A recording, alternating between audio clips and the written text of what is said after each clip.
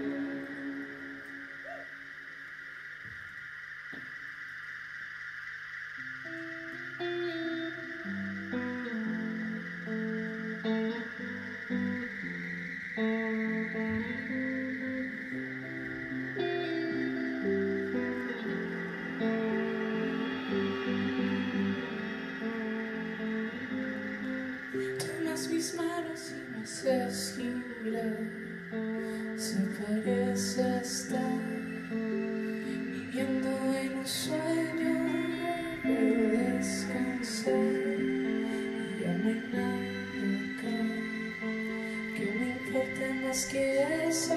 manos girar.